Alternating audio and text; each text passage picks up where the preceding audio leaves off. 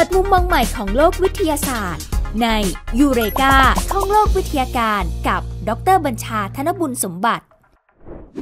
รายการยูเรกาท่องโลกวิทยาการตอนนี้นะครับ ผมจะชวนคุยเกี่ยวกับปรากฏการณ์หนึ่งนะครับ ที่เกี่ยวเนื่องกับพายุหมุนเขตร้อนนะครับ ซึ่งเป็นพายุหมุนที่สร้างความเสียหายนะครับในแง่ลมแรงนะครับ เกิดฝนฟ้าขนองได้ แต่ทีนี้ถ้าเกิดว่าพายุหมุนเขตร้อนนะครับ พวกไต้ฝุ่นเฮอริเคนต่างๆ หรือพายุโซนร้อนเนี่ยนะครับ มันเข้าสู่ชายฝั่ง นะครับอาจจะเกิดปรากฏการณ์อีกแบบหนึ่งเรียก storm surge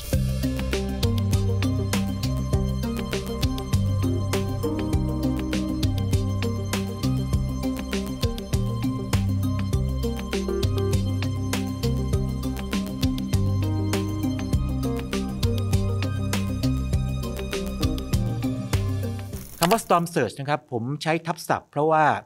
มันมีศัพท์บัญญัติอื่นๆนะครับเช่นน้ำขึ้นจากพายุนะครับโดยราชบัณฑิตยสถานนะครับ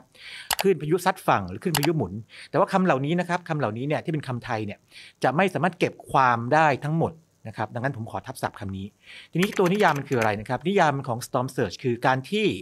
ระดับน้ำทะเลบริเวณชายฝั่งครับสูงขึ้นนะครับจากระดับปกติ นะครับอันเนื่องมาจากอิทธิพลของพวกระบบความกดอากาศต่ำนะครับโดยเฉพาะพายุหมุนเขตร้อนทีนี้ดูนิยามนิดนึงนะครับอันนี้สำคัญนะครับเพราะว่าเวลาพูดเรื่องพวกนี้ต้องพูดชัดเจนว่าอะไรคืออะไรนะครับปกติน้ำทะเลเนี่ยมันก็ขึ้นลงได้ใช่ไหมครับมีน้ำขึ้นน้ำลงได้นะครับมีไทยนะครับไทเดลนะครับเอ่อทีนี้หากว่ามีคลื่นนะครับสูงขึ้นมาอีกนะครับสูงขึ้นมาอีกเนี่ยอันเนื่องมาจากที่ว่าลมมันแรงหรือว่าความกดอากาศมันต่ำนะครับเนื่องจากพายุหมุนเขตร้อนเนี่ยนะครับน้ำทะเลก็สูงขึ้น ส่วนที่สูงสุดนะครับเรียก storm tide นะครับจะเป็นส่วนรวมของเรียกว่าน้ำขึ้นนะครับปกติบวกกับเรียกว่า surge นะครับซึ่งเป็นตัวที่เราพูดถึงตอนนี้นะครับนี่ในบางกรณีนะครับอาจจะมีการพูดถึงเรียกว่ายอดคลื่นที่มันโผล่ขึ้นมาด้วย เรียกว่า added wave height คือความสูงของคลื่นที่เพิ่มเติมเข้ามาครับดังนั้นคำคำนี้นะครับจะมีหลายคำที่เกี่ยวข้องกันเลยคือ storm surge นะครับเรียกว่า high tide normal high tide นะครับคือว่า ความสูงของน้ำขึ้นปกตินะครับ แล้วก็ storm tide คือผลรวมของ storm surge นะครับกับไอ้ high tide อันนี้คำว่า storm tide นะครับอีกครั้งหนึ่งนะครับก็คือ storm surge บวกกับน้ำขึ้นนะครับ เช่นถ้าเกิดว่าปกติแล้วเนี่ยนะครับน้ำทะเลเนี่ยสูงขึ้น 1 เมตรอยู่แล้วนะครับ แล้วก็มี storm surge ขึ้นมาอีก 3 เมตรนะครับ สูงสุดก็จะเป็น storm tide 4 เมตรนั่นเอง ผมนำข้อมูลจริงมาให้ดูมาให้ดูด้วยนะครับ อย่างเช่นในอเมริกาเนี่ยใช้หน่วยเป็นฟุตใช่ไหมครับหรือหน่วยเป็นฟิตนะครับก็ถ้าเกิดว่ามีน้ำขึ้นมานะครับสูงประมาณ 0.9 ฟุตนะครับแต่ว่าตัว storm tide เนี่ย 8.1 ก็แสดงว่า storm surge นะครับ ก็คือ 8.1 ลบ 0.9 หรือ 7.2 ฟุต นั่นเอง ทีนี้ทบทวนพายุหมุนเขตร้อนนิดหนึ่งนะครับ พวกพายุที่ก่อตัวขึ้นมานะครับในทะเลนะครับ แล้วก็เป็นโครงสร้างขนาดใหญ่เลย ใกล้ศูนย์กลางพายุเนี่ยนะครับ ก็จะเป็นกลุ่มของเมฆฝนฟ้าคะนองนะครับ ที่เอ่อแบบเรียกว่ามีฟ้าร้องฟ้าผ่านะครับฝนตกหนักมากนะครับแล้วก็แต่ว่าตรงกลางเนี่ยนะครับอาจจะมีตาพายุชัดๆอยู่นะครับซึ่งเป็นบริเวณที่ฟ้าค่อนข้างใสนะครับแล้วก็ตรงที่เป็นขอบนะครับก็จะเป็นเรียกว่า wall นะ eye wall คือผนังของตานะครับบริเวณนี้เป็นบริเวณที่เคยให้ดูภาพไปก่อนหน้านี้แล้วนะครับทบทวนได้ในยูเรกาตอนเกี่ยวกับเรื่องพายุหมุนเขตร้อนนะครับตัวโครงสร้างพายุหมุนเขตร้อนเนี่ยนะครับก็จะมีขนาดใหญ่มากแขนมันเนี่ยนะครับระดับหลายร้อยกิโลเมตรบางทีถึงพันกิโลเมตรก็มีนะครับบางลูก สิ่งที่เกิดขึ้นคืออะไรครับสิ่งที่เกิดขึ้นคืออย่างนี้ครับ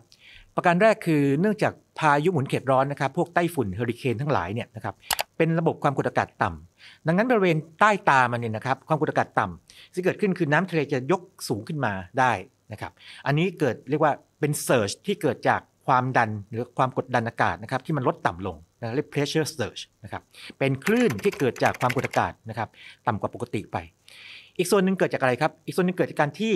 พายุพวกนี้มีลมแรงใช่ไหมครับก็จะหอบเอาพื้นน้ำทะเลเนี่ยสูงขึ้นมาด้วยนะครับอันนี้ก็เรียกว่าเป็นเซิร์ชนะครับหรือว่าคลื่นนะครับที่เกิดจากลมเนี่ยมันหอบพัดเข้ามานะครับสองอย่างนี้นะครับมีความแตกต่างกันนะครับ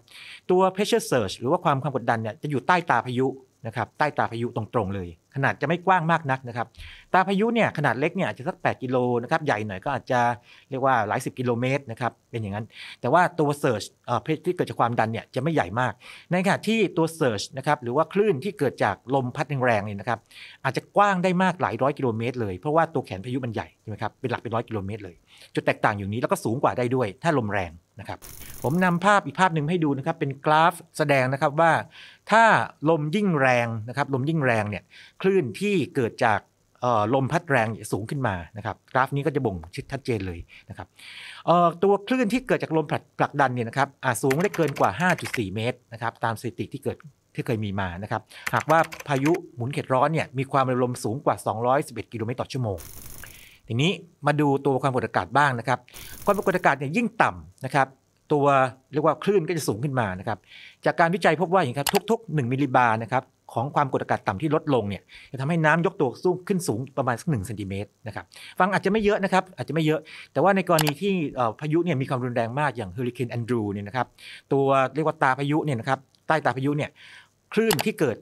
จากความดันเนี่ยนะครับสูงขึ้นมาถึง 1 เมตรทีเดียวนะครับซึ่งช่วยเสริม storm surge ให้สูงขึ้นไปอีก ทีนี้คิดถึงพายุหมุนเขตร้อนนะครับลองคิดถึงคล้ายๆ กับมีตรงกลางอยู่ใช่ไหมครับมีตาตรงกลางนะครับแล้วมีแขนสองข้างนะครับแล้วก็ฟาดหมุนหมุนไปนะครับในซีกโลกเหนือเนี่ยนะครับเขาจะหมุนทวนเข็มถ้ามองจากอวกาศนะครับลงมานะครับทีนี้จินตนาการได้ไม่ยากนะครับ ฝั่งที่แขนฟาดเข้าหาฝั่งนะครับชายฝั่งเนี่ยแน่นอนว่าลมต้องแรงกว่า ฝั่งนี้นะครับที่ แขนฟาดแขนพายุฟาดเข้าหาฝั่งเนี่ยนะครับจะเป็นบริเวณที่ storm surge เนี่ยเกิดได้สูงกว่านะครับดังนั้นเนี่ยนะครับเวลาเขาศึกษาจะมีการคำนวณเลยนะครับว่าโอเคพายุนะครับศูนย์กลางตาพายุเนี่ยเข้าที่จุดไหนนะครับแล้วฝั่งไหนที่เป็นฝั่งที่แขนฟาดเข้าไปนะครับถ้าเป็นซีกโลกเหนือนะครับซึ่งอาจจะเป็นพวกทางบ้านเรานะครับหรืออาจจะเป็นทางอเมริกาก็ตามเนี่ยนะครับก็จะเป็นฝั่งขวางพายุนะครับส่วนฝั่งซ้ายเนี่ยลมก็จะเรียกว่าหอบออกกลับไปนะครับ storm surge อาจจะเกิดได้แต่ว่าเกิดต่ำกว่า เรามาดูกรณีเฮอริเคนแอนดรูนะครับก่อนเข้าสู่ชายฝั่ง อันนี้ภาพผมให้ดูนะครับ อย่างลูกศรสีแดงเนี่ยจะพูดถึงเรียกว่าลูกศรลูกสีแดงที่มี2องสองหัวนะครับจะพูดถึงเส้นทางนะครับของพายุนะครับพุ่งเข้าหาฝั่งใกล้ๆแมมมี่นะครับแต่ว่าทางฝั่งขวาเขาเนี่ยก็จะบอกว่าเป็น storm surge เนี่ยที่สูงมากนะครับเพราะเป็นฝั่งที่แขนฟาดเข้าหาชายฝั่งนั่นเอง ทีนี้มีการคำนวณด้วยนะครับการคำนวณด้วยถ้าเป็นหน่วยเมกันเนี่ยเป็นฟุตนะครับเห็นว่าถ้าเกิดว่าอยู่ห่างชายฝั่งออกมาเนี่ยความสูงของคลื่นเนี่ยจะไม่สูงมากนักเช่น 3 ฟุต 3 ฟุตก็ประมาณ 1 เมตรใช่ไหมครับ แล้วก็สูงเรื่อยๆ6ฟุต 9 ฟุต 12 ฟุต แล้วก็ถ้าเกิดใกล้ชายฝั่งนะครับ ฝั่งที่แขนพายุเนี่ยฟาดเข้าไปเนี่ย storm surge อาจจะสูงได้มากถึง 15 ฟุตนะครับ ซึ่งประมาณ 4 เมตรครึ่งทีเดียว เรามาดูความรุนแรงนะครับของอ่อ storm surge นะครับจากเฮอริเคน Camille ครับ อันนี้เป็นกรณีคลาสสิกมากนะครับ 1969 ซึ่งเป็นเฮอริเคนที่รุนแรงมากระดับ 5 5 นี่คือหายนะนะครับ สูงสุดเลยนะครับของเฮอริเคนทั้งหลาย ที่เกิดขึ้นคือความเร็วลมเนี่ยสูงจัดมากเลยนะครับเกิน 200 กิโลเมตรต่อชั่วโมงนะครับซัดเข้าไปนะครับเกิด storm surge สูงถึง เรียกว่าอย่างนี้บวกกับเอ่อเรียกว่าน้ำขึ้นด้วยนะครับเป็น storm tide เนี่ยสูงถึง 7.3 เมตรนะครับ7.3 เมตรนะครับ7.3 เมตรนี่ก็เรียกว่าประมาณบ้านชั้น2นะครับเกือบเกือบชั้น 3 แล้วเฮอริเคนแคมิรีนะครับก็มีภาพให้ดูเยอะเลย เพราะว่ามันสร้างความเสียหายมากนะครับเป็นกรณีศึกษาเลย นี่อาจเกิดคำถามนะครับว่า storm surge กับสึนามิเนี่ยต่างกันยังไง เพราะเป็นคลื่นจากทะเลทั้งคู่ถูกไหมครับสองอย่างนี้แตกต่างกันครับ storm surge เนี่ยเป็นผลทางอุตุนิยมวิทยานะครับเกิดจากลมนะครับเกิดความกดอากาศนะครับ ส่วนสึนามิเนี่ยจะเป็นปรากฏการณ์ที่เกิดจากธรณีวิทยานะครับ storm surge นะครับกลับมา storm surge หนึ่งเกิดจากพายุบนเขตร้อนเป็นหลักนะครับโซนร้อนพายุโซนร้อนนะครับเฮอริเคนใต้ฝุ่นทั้งหลายนะครับเกิดจากเกิดจากการที่ความกดอากาศมันต่ำ น้ำยกสูงขึ้น แล้วก็ลมแรงหอบเอาน้ำเข้าไปใช่ไหมครับ ดังนั้นเนี่ยนะครับบริเวณที่รับผลกระทบแม้ว่าจะกว้างได้พอสมควรนะครับ แต่ก็จะถูกจำกัดแค่ชายฝั่ง ขนาดพอๆกับแขนพายุนะครับอย่างมากสุดประมาณแค่นั้นเองนะครับ แล้วก็ที่สำคัญคือสามารถที่จะคำนวณได้นะครับติดตามได้อ่าเรียกว่าไม่ถึงกับยากนักทำนายล่วงหน้าได้ด้วยนะครับว่าอาจอาจจะหรือน่าจะเกิด storm surge ที่ไหนสูงเท่าไหร่นะครับ ในขณะที่สึนามินะครับเป็นปรากฏการณ์ที่เกิดเกี่ยวเนื่องกับทางธรณีวิทยานะครับเช่นแผ่นดินไหวใต้น้ำนะครับหรือว่าภูเขาไฟใต้น้ำระเบิดนะครับหรือเกิดดินถล่มใต้น้ำหรือแม้แต่กรณีที่นานๆเกิดทีมากๆเลยนะครับ เช่น เรียกว่ามีพวกลูกไฟนะครับตกลงมานะครับจากอวกาศตกลงมาในทะเลนะครับเกิดคลื่นขนาดยักษ์เป็นสึนามิได้เหมือนกันสึนามิเนี่ยนะครับจะมีเระยะทางที่เคลื่อนที่มักจะไกลกว่านะครับจากทวีปหนึ่งไปทวีปหนึ่งได้เลย คือข้ามโลกได้เลยนะครับแล้วก็ มีผลกระทบต่อชายฝั่งทุกแห่งที่คลื่นไปถึงเพียงแต่ว่าถ้าใกล้หน่อยคลื่นจะสูง ถ้าไกลหน่อยก็คลื่นก็จะเล็กหน่อยนะครับแล้วก็ยากที่จะทำนายนะครับทำนายได้เหมือนกัน แต่ว่ายากกว่า storm surge มาดู storm surge ในประเทศไทยนะครับผมลองไปค้นเอกสารของกรมอุตุนิยมวิทยานะครับเรื่องออข้อเท็จจริงของการเกิด storm surge ในอ่าวไทยตอนบนนะครับพบว่าอย่างนี้ เอกสารนี้จะระบุว่ามี storm surge อย่างน้อย 2 ครั้งนะครับ ครั้งแรกปี 2532 นะครับพายุไต้ฝุ่นเก นะครับที่ชุมพรนะครับแล้วก็อีกครั้งหนึ่งนะครับ2540นะครับพายุไต้ฝุ่นลินดาลินดานะครับซึ่งตอนนั้นลดระดับลงมาเป็นพายุโซนร้อนแล้วนะครับที่ประจวบคีรีขันธ์นะครับสองอย่างนี้นะครับทั้งสองลูกนี้ก็สร้างความเสียหายมากมายที่เห็นนะครับมากมายอย่างที่เห็นแล้วก็ทำให้เกิดทั้งเรียกว่าน้ำท่วมนะครับมีโครงสร้างต่างที่พังทลายไปมากมาย แต่ทีนี้ถ้าเกิดว่าลอง ค้นให้ลึกลงไปอีกนะครับ ที่บ้านผมจะมีเอกสารอันหนึ่งที่ที่เป็นเอกสารสำคัญน่าสนใจมากเลย มีใครเคยได้ยินเรื่องตะลุมพุกไหมครับ เป็นภาพยนตร์ด้วยนะครับ สร้างจากเรื่องจริงที่พายุโซนร้อนแฮร์เรียตนะครับขึ้นฝั่งนะครับออที่แหลมตะลุมพุกเมื่อปี 2505 นะครับหลายท่านอาจจะยังไม่เกิดนะครับ แต่หลายท่านอาจจะเกิดแล้วถ้าอายุสักมากมากสักนิดหนึ่งนะครับ ก็ขึ้นฝั่งที่ตะลุมพุกนะครับช่วง 24-25 ตุลาคมนะครับสร้างความเสียหายมากมายเลย สิ่งที่เกิดขึ้นคือเอกสาร บันทึกเหตุการณ์พายุโซนร้อนที่นครศรีธรรมราช2 24 25 ตุลาคมนะครับ2505ระบุว่าพายุโซนร้อนแฮร์เรียตเนี่ยนะครับทำให้เกิดคลื่นพายุซัดฝั่งเขาใช้คำนี้นะครับ storm surge ที่แหลมตะลุมพุกนะครับนครศรีธรรมราชเนี่ยทำให้น้ำท่วมสูงขึ้นภายในเวลาไม่กี่นาทีนะครับก็เหตุการณ์เกิดขึ้นตอนกลางคืนนะครับช่วงที่ 25 ตุลาคมประมาณสัก19นาฬิกานะครับ1ทุ่มเป็นต้นไปนะครับก็ลมฝนเนี่ยหนักเลยนะครับพายุแรงมากคลื่นสูงขนาด 2-3 ช่วงคนนะครับคือสูงมากหลายเมตรเลย น้ำไหลเชี่ยวกรากเลย แล้วก็แสดงว่าอันนี้เนี่ยน่าจะเป็น storm surge อีกอันหนึ่งที่ควรถูกบันทึกไว้ เพราะฉะนั้นบ้านเราเนี่ยนะครับ ถ้ายึดเอาตามเอกสารกรมอุตุที่ผมเล่าไปตอนแรกเนี่ยก็มี 2 ครั้ง แต่ถ้ายึดตอนพายุโซนร้อนแฮร์เรียตด้วยก็น่าจะอย่างน้อย 3 ครั้งแล้ว ทีนี้ในสหรัฐอเมริกานะครับก็มีการศึกษานะครับแน่นอนว่าประเทศเขามี